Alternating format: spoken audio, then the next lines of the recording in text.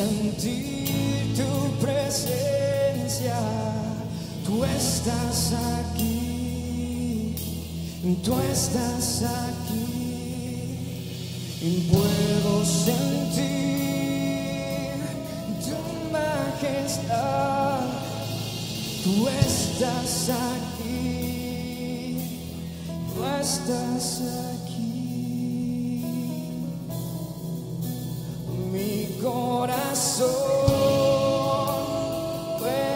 Sentir tu presencia. Tú estás aquí, tú estás aquí. Puedo sentir tu gran poder. Tú estás aquí, tú estás aquí. Dele la gloria al Señor, hermanos, porque Él está aquí. Él está en medio nuestro. Él está a tu lado. Él está viendo tu necesidad. Él conoce lo que está pasando en tu vida. Y Él quiere ayudarte y quiere bendecirte. ¿Por qué decimos que Dios está aquí? Decimos que Dios está aquí porque Él está esperando de nosotros que nosotros le pidamos. que simple y sencillamente le digamos, Señor, tú eres todopoderoso. Hay cosas que yo no puedo hacer, pero tú lo puedes hacer. Y nosotros lo creemos. Y por eso estamos aquí. Para pedirte, Señor, porque tu presencia está en, en medio nuestro. El altar está abierto, hermano. Si usted quiere pasar y adorar a Dios, si quiere pedirle al Señor acá en el altar, pase. Si prefiere quedarse allí donde está, hermanos, allí está el Señor también. Hable con Él. Pídale a Él. A lo mejor no es para usted su petición. A lo mejor su petición es por otra persona que está necesitada. A lo mejor hay una persona que está a su lado y está pasando por una situación difícil. Ponga su, mano sobre su hombro y bendígala. Pida al Señor por él, por ella. Si sabe que está enfermo, pídale al Señor que le sane. En el nombre de Jesús.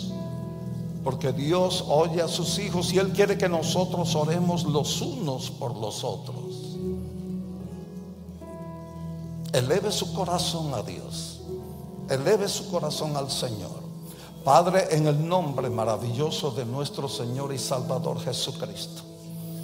Aquí estamos delante de tu santa y divina presencia. Señor, la podemos sentir. Sabemos que estás aquí, oh Señor. Nuestros ojos físicos no te pueden ver, oh Dios. Pero Señor, te podemos sentir. Señor, mira la necesidad que hay. en tantos cuerpos, en tantos hombres, en tantas mujeres, oh Señor. Mira cuántos vienen con necesidad, no por ellos, pero por otros. Familiares, amigos, oh Señor, que están siendo atacados, oh Padre de la Gloria, por enfermedades terribles, difíciles, oh Santo Dios. Pero Señor, nosotros sabemos que tú eres el Dios de lo imposible, que no hay nada imposible para ti, oh Señor. Por lo tanto, pedimos, tomamos este momento, Señor, para disfrutar de tu presencia y pedirte, oh Dios, que extiendas tu mano de amor y toques los cuerpos de aquellos que están enfermos. Cáncer, te vas en el nombre de Jesús de Nazaret. Suelta los cuerpos en el nombre de Jesús de Nazaret. Diabetes te vas en el nombre de Jesús de Nazaret. No tienes parte ni suerte en los cuerpos de los hijos de Dios. Fuera por el poder de Dios. Oh, corazones que están fallando, venas tapadas, riñones que están fallando, hígados que han sufrido debido a las cosas que han pasado en la vida pasada. En el nombre de Jesús, oh Señor, sean renovados, sean bendecidos. Porque tú tienes el poder para hacerlo. Y la enfermedad se va en el nombre que es sobre todo nombre. Oh, bendecimos, te bendecimos hermano, te bendecimos hermana. Recibe y recibe el toque divino de Dios. Porque Él está aquí tocándote. Aleluya, adóralo, adóralo, adóralo. Y recibe la bendición. Sí, Señor, aleluya. No pueden tocar tu rostro, Señor. Sé que estás aquí.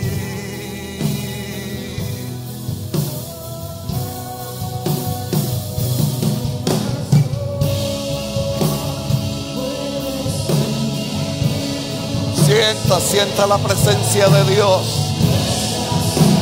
Uh, aleluya. Él está aquí. Tú estás aquí, Señor.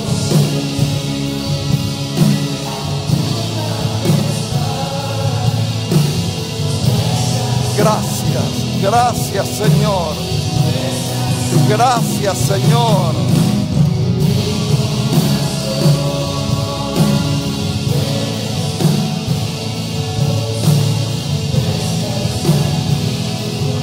Aleluya.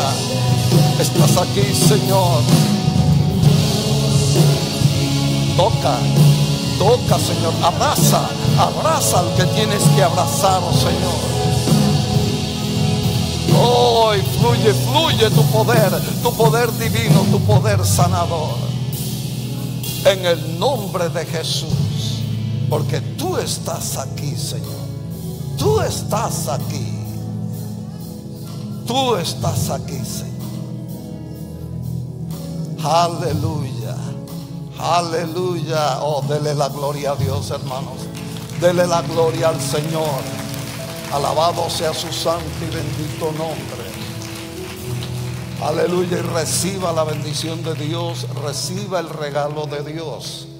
Porque Él nos regala cosas maravillosas. Oh, si supiéramos cuántas cosas Él nos da a diario cuántas cosas y cómo nos protege y nos bendice. Por favor, dígale a la persona que está a su lado mientras usted se sienta, qué bueno que estás en la casa de Dios y bendíganse los unos a los otros. Aleluya.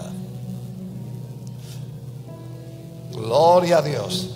Y nos sentamos a la mesa de Dios para comer del precioso manjar que Él tiene para nosotros en este precioso día. La palabra de Dios es un manjar delicioso y es la comida que necesita el Espíritu. Por lo tanto, recibimos la comida que Dios tiene para nosotros en este maravilloso día. Muy bien, hemos estado hablando sobre este tema tan interesante que es tres. Tres. ¿Por qué tres, verdad? Ah, hablamos el domingo antepasado sobre los tres, ¿verdad? Que y ustedes se acordarán de ello.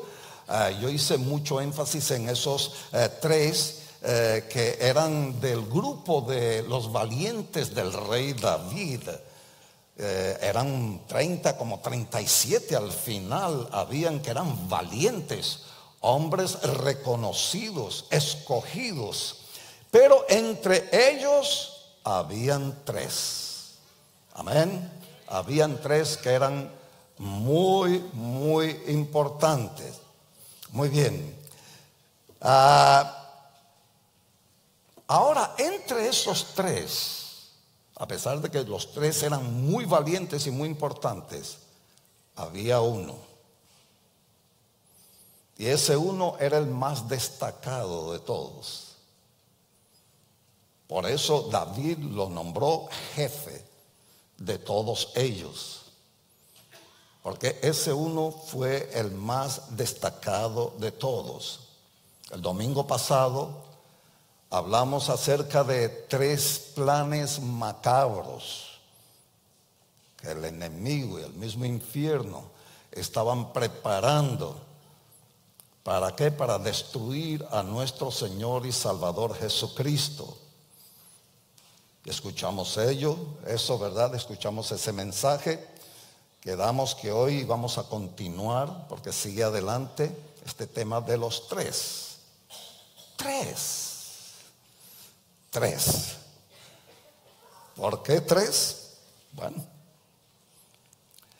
por lo que yo veo, hermanos, a través de la santa y bendita palabra de Dios, lo que la Biblia habla, Dios no es solitario.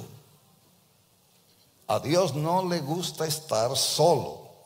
Ya lo hemos hablado, pero vamos a enfatizar más en ello. ¿Para qué tiene Dios? Imagínense ustedes, ¿no? Imagínense ustedes Dios haciendo tanta cosa.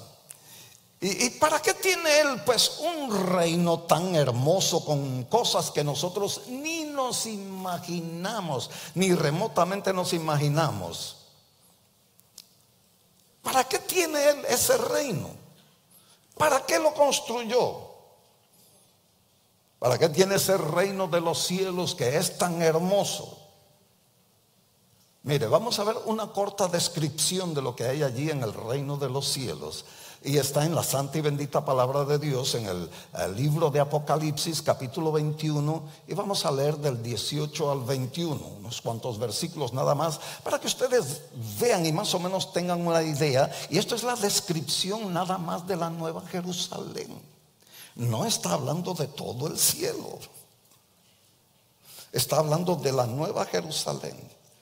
Pero mire cómo la describe el Señor cómo la hizo. Así que si hizo eso tan hermoso y tan poderoso, ¿cómo será todo el reino de los cielos?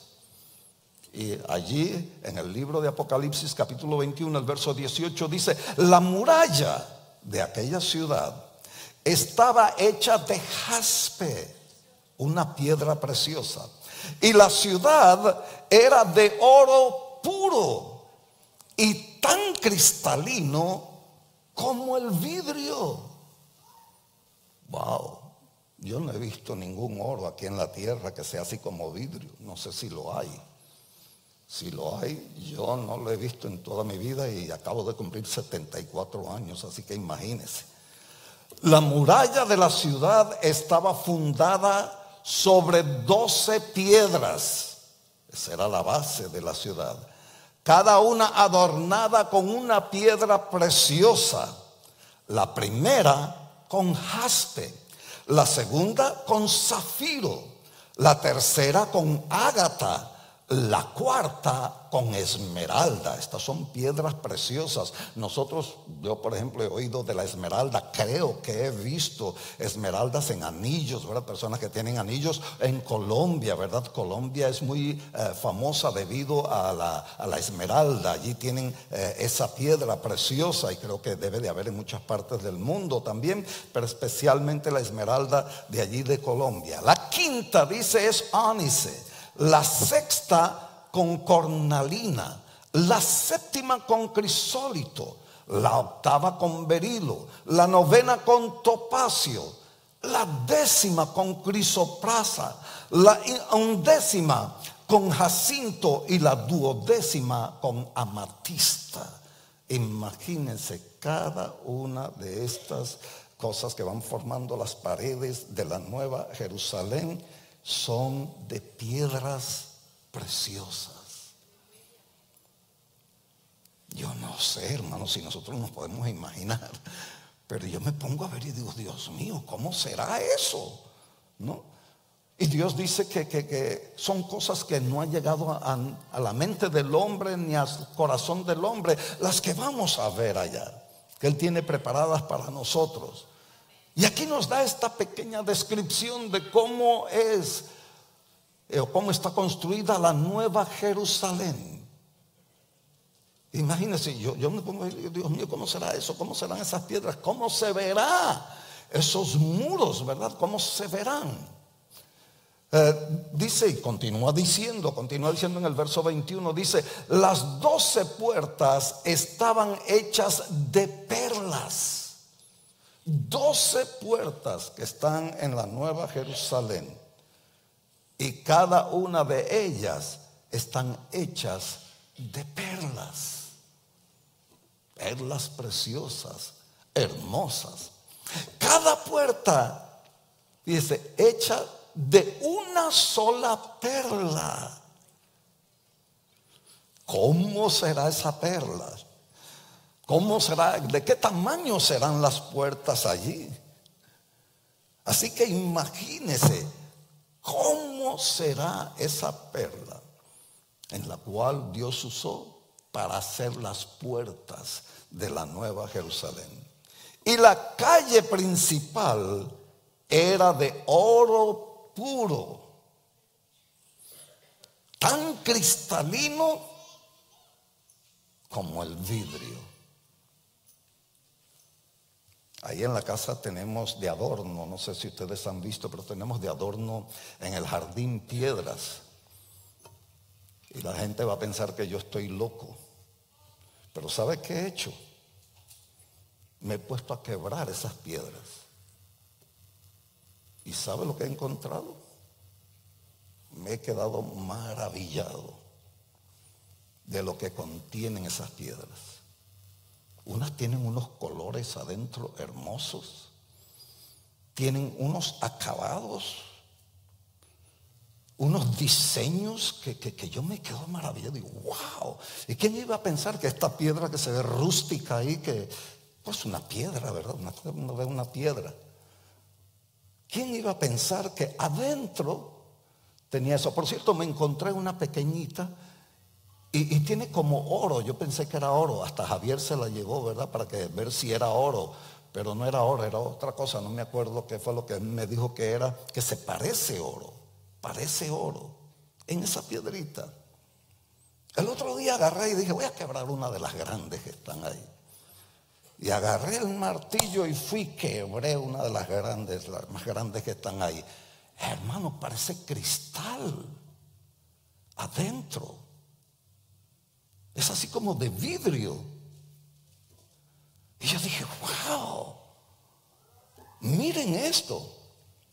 Y exactamente lo que Dios está hablando. Ahora Dios no está hablando de piedras. Esa piedra quizás aquí en la tierra no tenga ningún valor. Hayan muchas, son, son piedras de río, ¿no? Que se, las sacan del río. Este, y no tienen quizás ningún valor. Pero mire cómo me asombra ver eso. Ahora imagínese cómo será este, estas calles de oro allí en el cielo y que están cubiertas de oro y un oro tan fino, tan puro, tan maravilloso que parece cristal. Wow. Ahora bien, hizo Dios todo ese cielo, toda esa maravillosa creación para estar solo. ¿Qué les parece, verdad? La ciudad, según la gente estudiosa, los que han eh, más o menos, eh, porque dice ahí la, medida que son codos, en fin, y han tomado las medidas, han comparado, han llegado a la conclusión de que la ciudad mide 1500 millas de largo, 1500 millas de ancho y 1500 millas de alto. Imagínese el tamaño de esa ciudad. Es algo gigantesco. Y como Dios la describe, como es. Ahora, Dios está haciendo todo eso o hizo todo eso para estar solo. Imagínese al Señor eh, haciendo esa, esa ciudad tan hermosa, 1500 millas de largo, 1500 millas de ancho, 1500 millas de alto y andar ahí solito viendo todo. Ay, qué bonita mi creación. ¿Ustedes creen que Dios hizo eso para él solo? No. Dios no es un Dios solitario. Amén. A Él no le gusta estar solo. Aleluya. A él no, a él le gusta, a él sí le gusta la compañía, le gusta, le, le gusta estar acompañado. Fíjese, a él no le gusta estar solo, a él le gusta la compañía, le gusta estar acompañado. Por eso él creó, ¿verdad? Para estar allí en los ángeles acompañándole y disfrutando de toda esa creación a los arcángeles, querubines y serafines y ángeles. Oh, por millones están allí. Y con ellos, ¿verdad? Pobló ese reino, el reino de los cielos. Y si Dios sale a caminar por la ciudad, allí hay mucha actividad ángeles caminando por acá, ángeles haciendo esto, ángeles haciendo aquello, los arcángeles, los serafines, los querubines. Imagínense, hay una actividad tremenda. Allí en los cielos. Así que la gente que piense que va a ir a un lugar aburrido, prepárese. Porque el cielo no es aburrido. Amén. O le dan un aplauso al Señor, hermano. Ahora bien, Dios no conforme con todo eso que Él ha hecho, con crear a los ángeles, los serafines, los querubines y, y todo eso, creó también al hombre. Nos creó a nosotros. Aleluya. Y le dio el don de multiplicarse. Y le dio una orden. ¿Y cuál fue la orden? henchid la tierra, o sea, llenen la tierra de gente. Multiplíquense y llenen la tierra. ¿Por qué? Porque Dios no es un Dios solitario. No le gusta estar solo. Él quería la comunión, ¿verdad? Con la gente y el compañerismo. Por eso nosotros vemos, ¿verdad?, que él bajaba, hablaba con Adán, con Eva, en fin. Eh, eh, eso era el plan de Dios con toda la creación. Y, si, y cuando Adán y Eva comenzaron a tener hijos e hijas, allí iba el Señor para hablar con ellos. Porque a Él no le gusta estar solo. Ahora fíjese, a Dios no le gusta estar solo y no le gusta andar sin compañía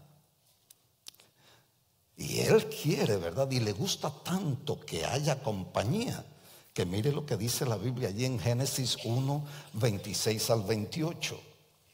Dice, entonces dijo Dios, hagamos al hombre a nuestra imagen, conforme a nuestra semejanza, y señoré en los peces del mar, en las aves de los cielos, en las bestias, en toda la tierra y todo animal que se arrastra sobre la tierra. Y creó Dios al hombre a su imagen, a su semejanza, o a la, imagen de Dios los creó. Varón y hembra los creó. Ahora, nótenlo cómo Dios habló allí. Dios no habló en singular. Dios habló en plural. Comienza diciendo, hagamos. Mm, tremendo, ¿verdad? A Dios le gusta tanto la compañía o estar acompañado que Él mismo se manifiesta en tres personas. Tres. Estamos hablando de tres. Por eso Él se manifiesta en el Padre, el Hijo y el Espíritu Santo. A Él no le gusta estar solo. Él quiere compañía. Él no es un solitario. Y lo comprobó cuando visitó a Abraham. Ahí en el libro de Génesis también, capítulo 18, versos 1 al 3. Ahí vemos como cuando ah, Dios visitó a Abraham. Y Abraham estaba sentado allí de- al, a- al- a- al frente de su tienda, debajo de un árbol que había ahí, el árbol de eh, Manre. Dice, después le apareció Jehová en el encinar de Manre, estando él. Abraham, sentado a la puerta de su tienda en el calor del día. Había mucho calor y él estaba sentado allí a la puerta de la tienda aprovechando esa sombra, ¿verdad? De aquel encinar. Y alzó sus ojos y miró y he aquí tres varones. No uno, tres varones que estaban junto a él. Se aparecieron allí de pronto al lado de él. Tres varones. Cuando los vio, salió corriendo de la puerta de su tienda a recibirlos y se postró en tierra y dijo, Señor, si ahora he hallado gracia en tus ojos, te ruego que no pases de tu siervo. Uno de los tres era Jehová Dios. ¿Cómo lo sabemos? La Biblia lo comprueba. Vamos a Génesis 18 y continuamos con el verso 13 y 14. Y dice, entonces Jehová, uno de esos tres, Jehová dijo a Abraham, ¿por qué se ha reído Sara diciendo, será cierto que he de dar a luz siendo ya vieja? ¿Hay para Dios alguna cosa difícil? Jehová hablando con Abraham y diciéndole, ¿hay acaso algo difícil para mí? Al tiempo señalado volveré a ti y según el tiempo de la vida, Sara tendrá un hijo. Y eso se cumplió. Pero fíjese, uno de los tres, uno de los tres era Jehová el Señor, era el Padre Celestial. Esto nos enseña que cuando uno hace algo, eh, aprendemos, ¿verdad? Aquí con esta historia, que cuando uno hace algo para Dios, cuando uno trabaja para Dios, Él siempre tiene recompensa. Dios es un Dios que Él eh, siempre está recompensando a sus hijos, está recompensando a sus siervos, eh, este, y nos da sorpresas, sorpresas maravillosas. Sara era, est- era estéril, no tenía hijos. Y ya, eh, ya había perdido toda esperanza porque por supuesto ya era muy vieja, ya, ya tenía como 90 años de edad. Y Dios le dio una promesa, le prometió que iba a tener un hijo. Porque Dios premia a sus siervos, Dios premia a aquellos que lo amamos y que le servimos. No sé si ustedes se han dado cuenta, pero a veces cuando yo oro aquí en la iglesia por ustedes, ah, yo le pido al Señor y le digo, Señor, que tengan una semana donde tú les des sorpresas, buenas sorpresas.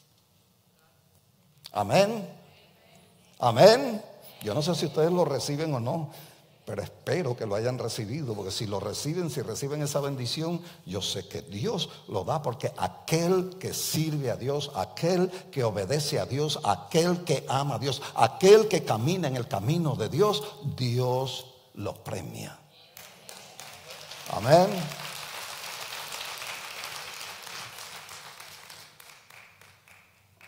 Y eso es lo que Él hace. Eso es lo que hace Dios. Dios nos da buenas sorpresas. A Sara le dio una sorpresa tremenda. Le dio un hijo. Sara tendrá un hijo. Soy muy vieja, ¿cómo va a ser? Tú vas a ver que cuando pase el tiempo, cuando yo tenga el tiempo indicado, te lo voy a dar. Y Sara se puso más vieja. Menos tenía la posibilidad, humanamente hablando, de dar a luz o de concebir. Y sin embargo, Dios le dio el hijo que le había prometido. Ahora, tres. Fueron tres los que vinieron a visitar a Abraham. ¿Quiénes eran esos tres? Para mí, ¿verdad? Como pastor y como eh, hombre que lee la santa y bendita palabra de Dios, para mí eran el Padre, el Hijo y el Espíritu Santo.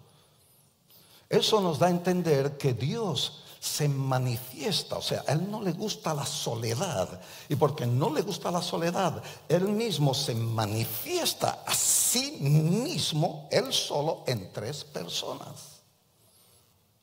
Padre, Hijo y Espíritu Santo. O sea, Él siempre está acompañado. Qué tremendo. La semana pasada, ¿verdad? Cuando hablamos acerca de los valientes eh, de David, la semana antepasada, ¿verdad? Mencionamos aquellos tres que fueron muy especiales y entre los tres había uno que fue el más destacado. Entre los tres, normalmente hay uno que es el que sobresale es el más destacado. Ahora, ¿es posible que entre los tres de Dios haya uno más destacado? Pues si es el Padre, el Hijo y el Espíritu Santo, son iguales. Entonces, ¿habrá la posibilidad de que haya uno que sea más destacado? Bueno, recuerden que ser valiente, ¿verdad? Es la persona a la cual se le asigna o se escoge para hacer una tarea que es la tarea difícil o más difícil que, ¿verdad? Nadie la quiere hacer. Y se le asignan las misiones para que, para que, para otros, que para otros, ¿verdad? Son imposibles y no las quieren. No, yo no puedo hacer eso. No, eso es imposible. Vamos a ir al cielo, hermanos. A mí me encanta meditar y pensar en las cosas de Dios. Y mientras estaba escribiendo este eh, mensaje, el Señor me permitió entrar en mi mente al cielo. Y hay una escena en el cielo. Yo me imagino, ¿verdad? Al Padre, al Hijo y al Espíritu Santo allí reunidos en uno de los grandes salones del cielo. Hay salones hermosos. Y el Padre comienza a, conversar con ellos y les dice, tengo una gran preocupación por lo que está pasando, o lo que está sucediendo allá en la tierra. El mundo va de mal en peor. El pecado ha crecido tanto que ha producido mucho daño. El mal se ha esparcido por todo el mundo y eso ha traído como consecuencia que las enfermedades hayan aumentado con el crimen, la violencia, las guerras, y las falsas religiones y sectas y muchas falsas creencias. Tenemos que hacer algo para liberar al mundo de esa situación. Y he llegado a la conclusión que alguien tiene que atreverse, tiene que haber un valiente, ¿verdad? Que tiene que atreverse a llevar a cabo esa difícil y terrible y dolorosa misión. La misión de liberar a la humanidad del pecado. El Espíritu Santo da su opinión. La única forma de libertar al mundo del poder del pecado es a través de la sangre. Sin derramamiento de sangre no hay remisión de pecado. Jesús también da su opinión, muy cierto, Padre. Tenemos que sacrificar un cordero. El Espíritu Santo opina, sí, debe ser un cordero inmaculado, sin mancha, sin arrugas, sin ningún tipo de contaminación ni defecto. El Padre interviene y les hace una pregunta, ¿quién creen ustedes que podría ser ese cordero? ¿Abraham? El Espíritu Santo dice, no. Le contestó el Espíritu Santo al Padre Celestial. Abraham cometió varias faltas que mancharon su sangre. Esa sangre no es pura para hacer ese trabajo. Él mintió e hizo que Saraí, su esposa, mintiera cuando observó que era muy hermosa. Y ahí está narrado en la santa y bendita palabra de Dios en Génesis 12, 11 al 13. Y dice en el verso 11, y aconteció que cuando estaban para entrar en Egipto, Abraham le dice a Saraí, su mujer, he aquí, ahora conozco que eres mujer de hermoso aspecto. O sea, eres muy hermosa. Cuando te vean los egipcios dirán, su mujer es. Y me matarán a mí y a ti te, eh, reservarán la vida. Ahora pues, di que eres mi hermana para que me vaya bien por causa tuya y viva mi alma por causa de ti. Y además, continuó el Espíritu Santo diciendo, y además continuó el Espíritu Santo, esa acción demostró que Abraham desconfió de ti. Porque siendo un siervo de Dios y conociéndote, debió de haber confiado en ti y dicho, bueno, yo voy aquí con mi esposa, mi esposa es hermosa, pero estoy bajo el abrigo de Dios. Estoy bajo el cuidado de Dios. Dios tendrá cuidado de mí, pero no confió en Dios, confió más en su propia inteligencia, su propio conocimiento. Y por eso dijo la mentira. Hmm.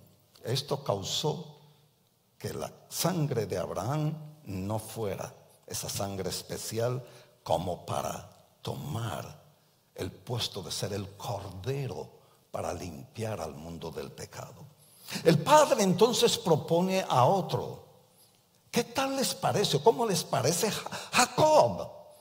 El Espíritu Santo responde, no, no, Jacob no. Él fue un engañador.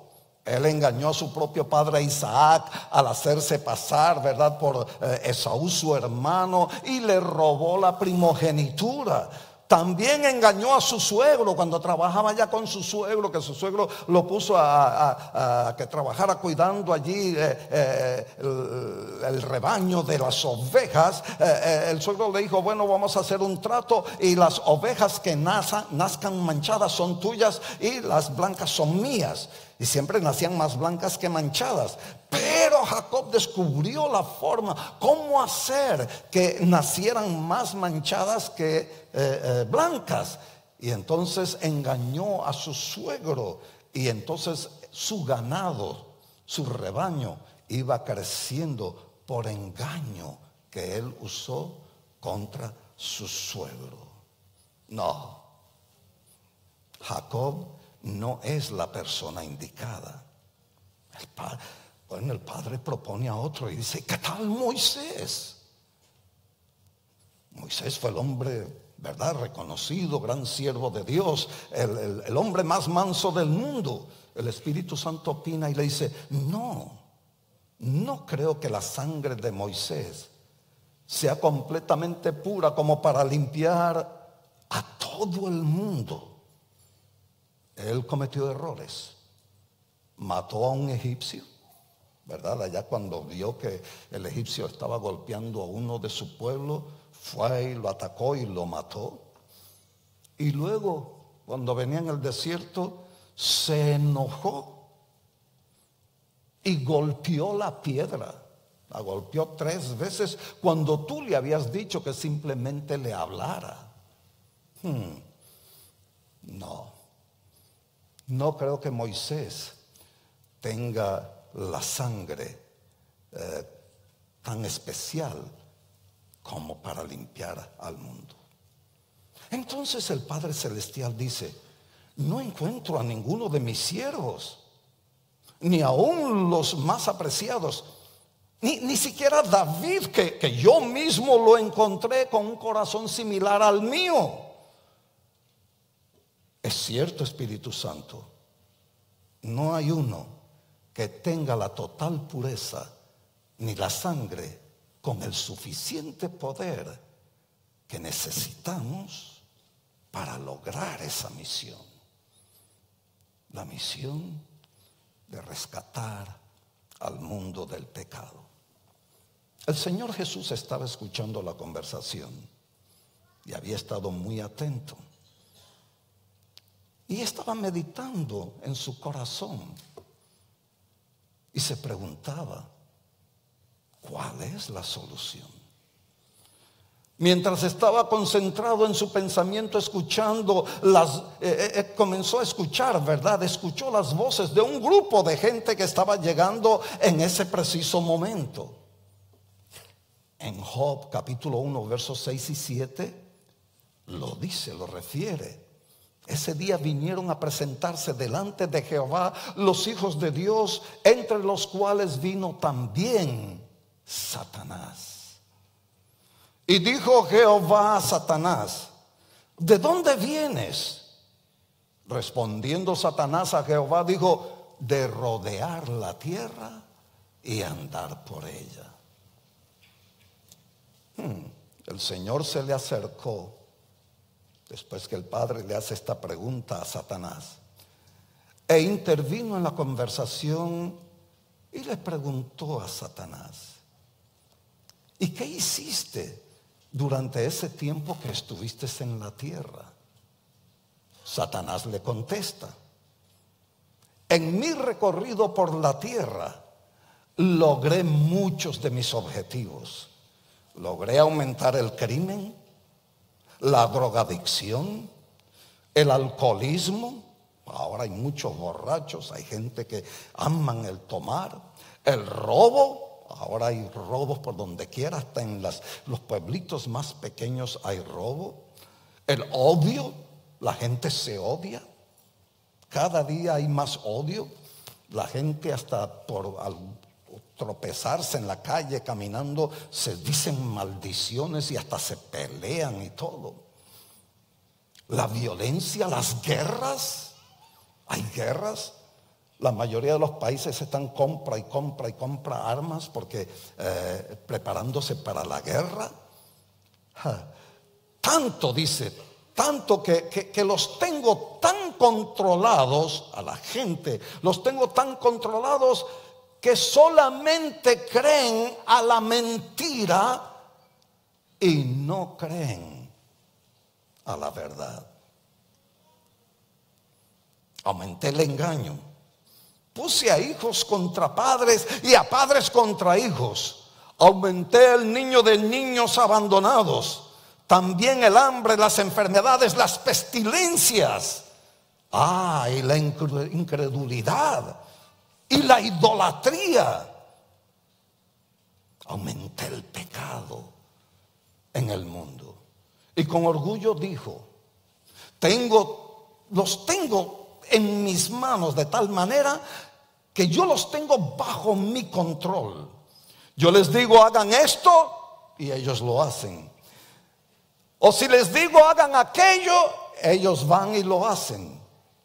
Son míos, dice Satanás. Son míos, son mi posesión. Y con decirte que hasta me hicieron templos donde pusieron mi imagen y me rinden culto. ah, yo soy su Dios. Ellos me adoran. Hmm. Mientras Satanás daba su maligno reporte, Jesús se voltea y ve hacia abajo. y mira todos los horrores que están pasando en la tierra. Las horribles cosas que están sucediendo allí. Ve lo que está pasando en África. Cómo con la brujería y la hechicería se maldicen unos a otros y se echan pestes. Ve lo que está pasando en Europa. La gente cada día se hace más idólatra. Adoran a las imágenes más que a su creador. Ve lo que está pasando en el continente americano, lo que está pasando en Asia y lo que está pasando en su pueblo escogido Israel.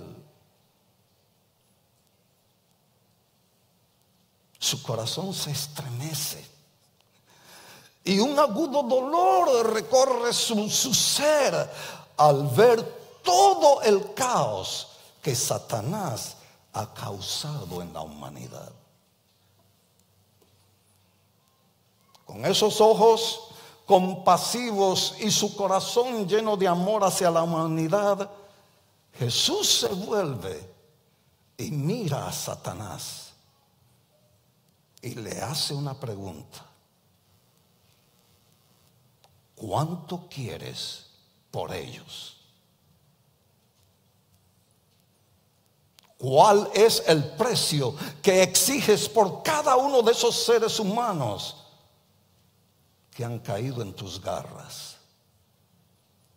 Satanás le responde, "Ja, tú no vas a querer dar un centavo por ellos, no valen la pena. Sus mentes están corrompidas y sus corazones están endurecidos.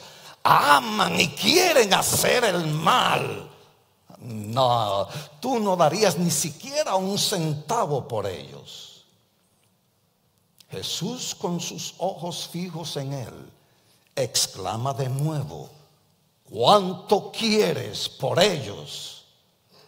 Satanás le responde, tú no me entiendes, esa gente es mala. Ellos te escupirán en la cara, te arrancarán la barba junto con pedazos de tu rostro, te desfigurarán de tal manera que nadie te reconocerá, te darán latigazos hasta dejar tu cuerpo como una llaga, se burlarán de ti diciendo, salve rey de los judíos, son malos, no valen la pena. Jesús sin retirar la vista de él, vuelve a exclamar, ¿cuál es el precio que exiges por ellos? Satanás pensando dentro de sí, expresa, "Ja, esta es la oportunidad para acabar con él. ¿Se acuerdan de los tres planes que había la semana pasada? Aquí él dice, esta va a ser la gran oportunidad para acabar con él. Y le responde, ah, veo que sigues en tu empeño. ¿Los quieres? Ok, está bien. Te voy a exigir un precio. Ya que los quieres tanto, el precio que te exijo es toda tu sangre. Tendrás que derramar toda tu sangre por ellos. Jesús mirándolo fijamente en- a sus ojos, lleno de valor, contesta, trato hecho. Hermano, dele gloria a Dios. Aleluya. ¡Uh! ¿Sabe lo que eso significa? Trato hecho. Y Jesús voltea su cabeza y mira hacia el Padre Celestial y le dice, Padre, yo iré. Yo seré ese cordero. Yo daré mi sangre por ellos.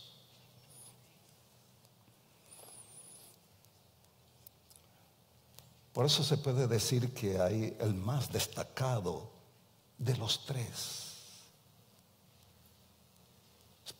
Padre es Dios Todopoderoso. es, eh, no, no hay forma, ¿verdad? Yo no tendría palabras suficientes como describir al Padre Celestial de lo grande y lo maravilloso que Él- Él es. Y es parte de los tres. Pero siempre hay uno más destacado. El, da- el destacado, el más destacado, siempre es el valiente de los valientes. Y el valiente de los valientes, en este caso, es nuestro Señor Jesucristo. Amén. Eso no quiere decir que Él era mayor que el Padre o que el Espíritu Santo. No. Solamente significa que fue un valiente de los valientes. ¿Por qué? Porque por su decisión le fue dado el- un nombre que es sobre todo nombre, para que en el nombre de Jesús se doble toda rodilla. Aleluya. Por eso nuestro Señor Jesucristo es considerado el más destacado, el valiente de los valientes. Jesús lleno de valor y de esa compasión que surgía de lo más profundo de su corazón, aceptó el reto, tomar la copa más amarga. ¿Se acuerdan cuando estaba en el Getsemaní? Cómo lloraba y comenzó a sudar y su sudor se convirtieron como en grandes gotas de sangre. ¿Por qué? Porque él sabía la copa que iba a tomar. Y hasta le pidió al Padre, Padre, si es posible, si es posible, pasa de mí esta copa. Porque era duro todo lo que iba a pasar. Pero él le dice, pero no se haga mi voluntad, sino la tuya.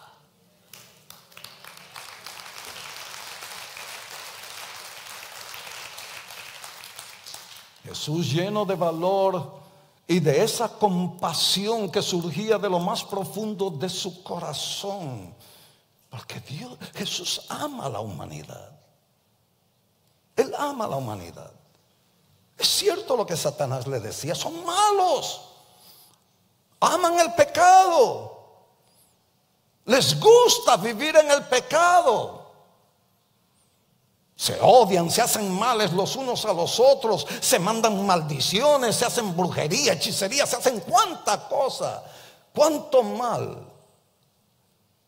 No valen ni un centavo, tú no darías ni un centavo por ellos. No, te equivocas, Satanás. Yo amo a la humanidad.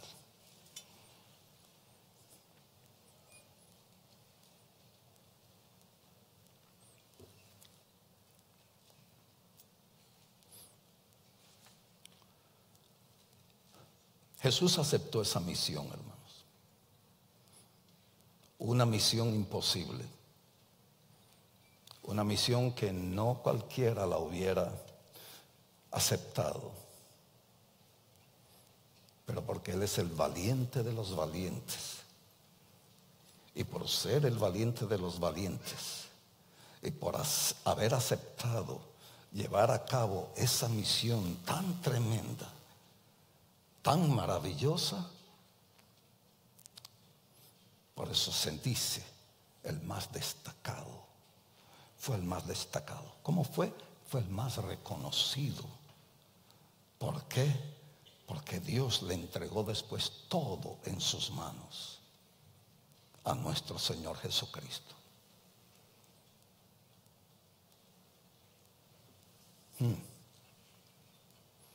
Jesús lleno de valor y de esa compasión que surgía de lo más profundo de su corazón, aceptó el reto, tomar la copa más amarga y llevar a cabo la misión imposible. Jesús aceptó y vino a la tierra a pagar el precio por la humanidad. Dele la gloria a Dios. Dele la gloria a Dios. Dele la gloria a Dios. Aleluya. Ese es nuestro Señor y Salvador Jesucristo. Hermano, por eso nosotros debemos de derramar nuestros corazones delante de Dios. Y nosotros debemos de estar tan agradecidos con Dios. Nunca nos debemos de cansar de darle las gracias. Las gracias por todo lo que Él nos ha dado. Por todo lo que Él nos está dando y por todo lo que nos va a dar. Porque Él es el Dios de ayer, de hoy y de siempre. Él no se acaba. Su misericordia no se acaba. Su amor no se acaba. Con amor eterno te he amado, dice el Señor. Ese es el grande amor de Dios. Vamos a estar en pie, hermanos. Y vamos a adorar a nuestro Señor mientras los muchachos cantan este corito hermoso. Vamos a tomar un tiempo para adorar. Y hermanos, déle la gracia- las gracias a Dios. Dele las gracias a Dios. Porque Él mismo vino en la persona de nuestro Señor Jesucristo para darnos esta salvación tan grande y tan hermosa. Él vino a pagar el precio por nuestros pecados.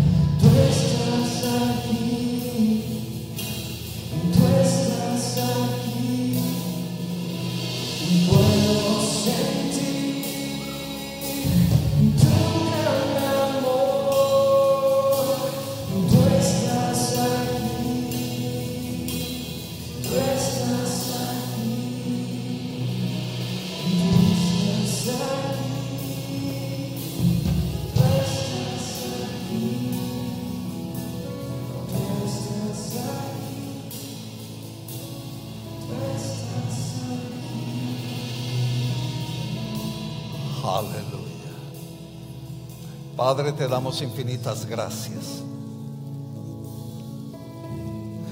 Oh Padre, por esa decisión tan hermosa